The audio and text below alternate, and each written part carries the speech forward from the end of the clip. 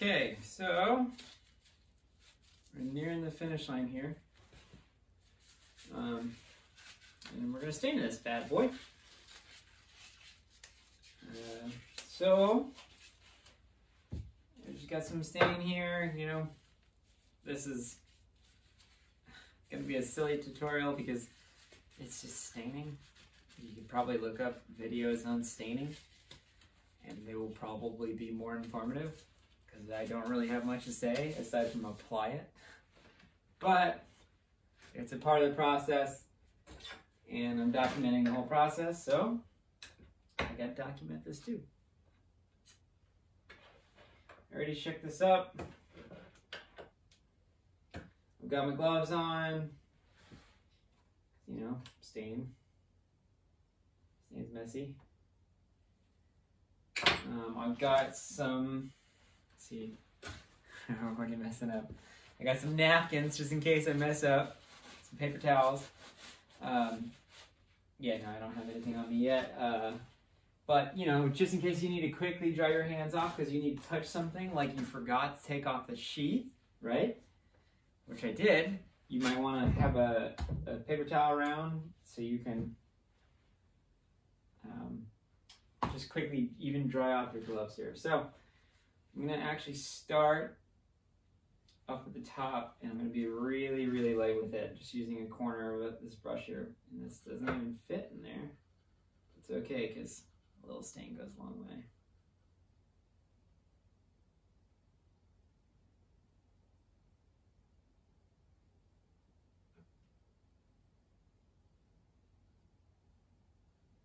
Getting off the little bit that's to drip because just know what's going to happen. Actually, you know what? See, this is a lesson in humility here. I am not going to do the top. I'm going to do the top once it's in the rack. Look at that. Thinking on your feet. Anyway, just going to start applying here.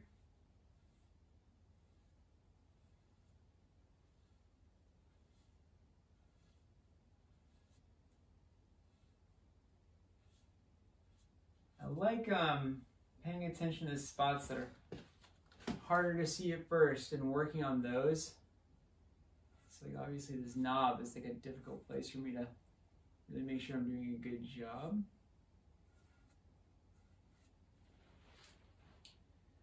So I can start here because if I needed to like grab the handle and look at it in a different way, I could. Everything seems to be going okay though. I'm so sorry that this is gonna be like a however long this video is on me staining a handle. If you're watching, I guess it's your choice. You probably don't care. Uh, probably interested, so let's do it. Let's finish this job.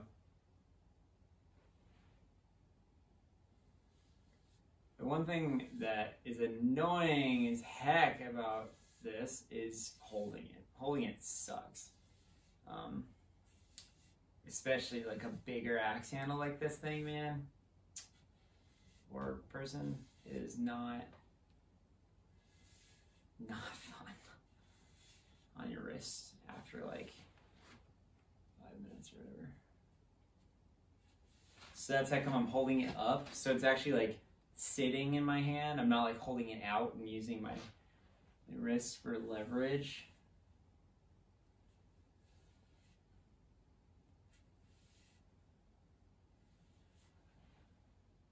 It's looking great already. Really want to make sure that that tight corner is done. There's so many different little like angles on the knob that you really just got to make sure that you did pay attention to it all. That looks good. And now we can just cruise right along.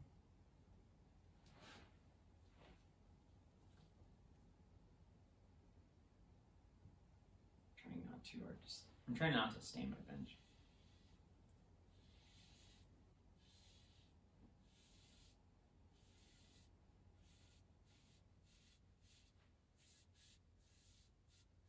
It smells like my dad's print shop when I was a kid.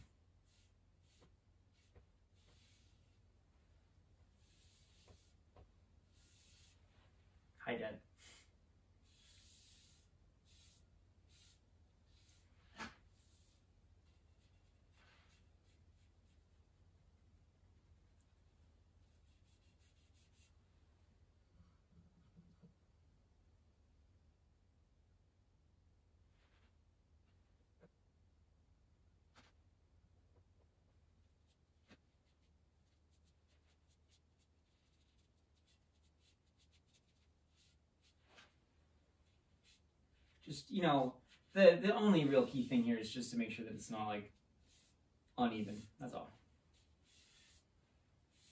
And even that isn't that big of a deal.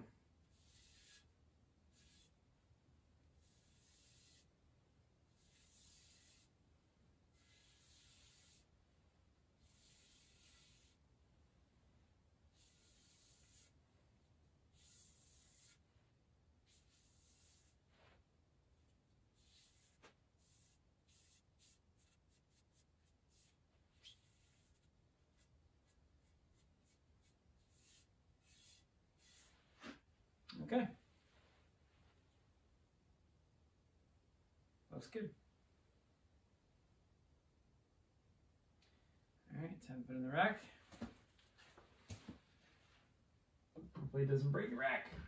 This is so big. Yeah, that's, I haven't talked about the accent at all, but it's a it's a Collins Legitimus it's one of the South American models. Um, it's four pounds. The Axite's four pounds.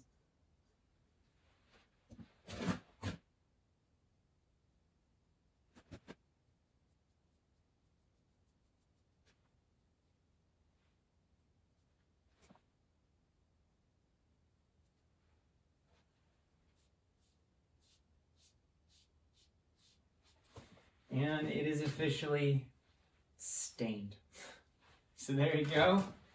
Um, gonna let that dry. And uh, going to apply some coats of linseed oil on that thing. And then some beeswax. And then we're gonna burnish it. And then it will be done.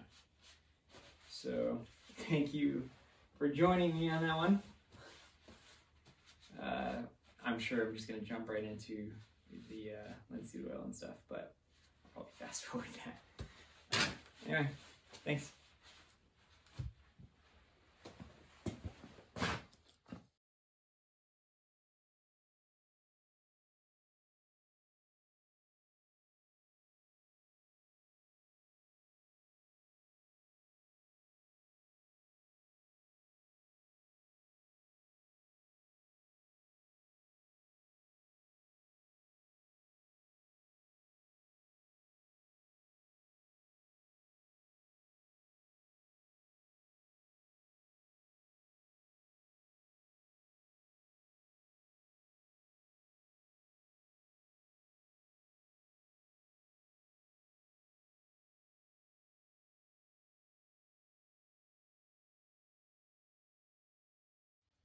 Okay, so it's time to wax and burnish the handle. So I just got this chunk of beeswax here, and then I've got these two random pieces of metal. This one's round, this one's rounded but flat to burnish the handle. And let's just get started. It's really about pressure and heat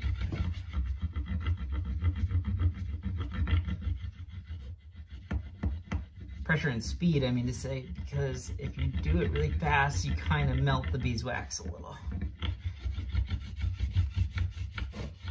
And even though this thing's already sanded, the idea is you're taking the end grain,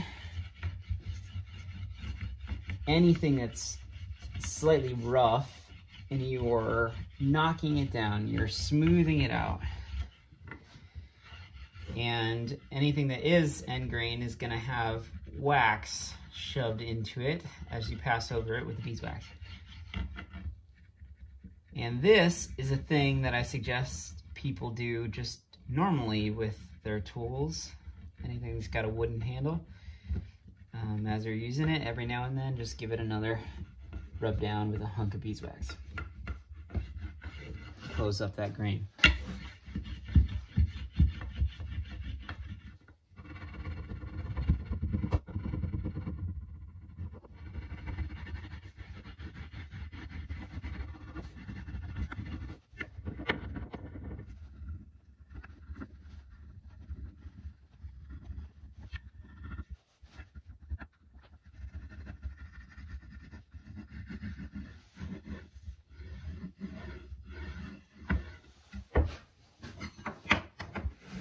On the flat, the tangential spots, I use this flat piece here. And it's really, like I was saying, you're not necessarily going to see much effect, but you do this over and over again, and it will really start to show over time. It almost is like a, it'll make the handle look like it's got like a lacquer on it just from the sweat of your hands and burnish, like burnishing it with the sweat of your hands while you're using the tool, but also this is basically inducing that process.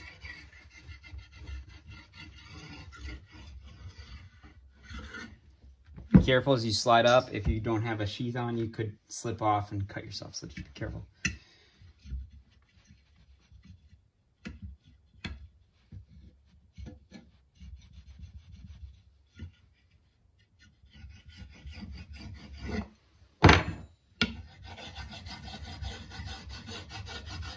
You notice I actually wind up accumulating some beeswax from doing this. That's okay, it's you're scraping it off, but you're pushing some into the end grain. And it's really about just knocking that, the like rougher spots down.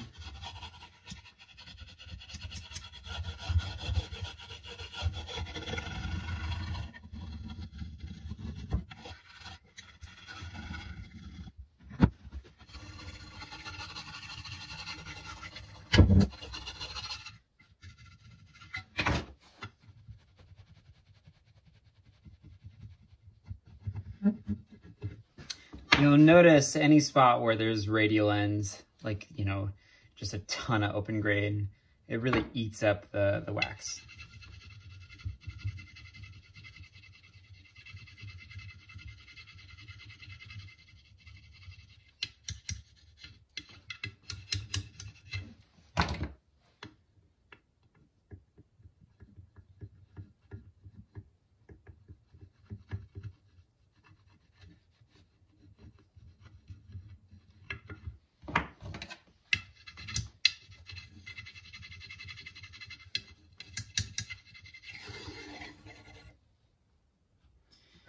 Okay, now I'm gonna flip it. The other side.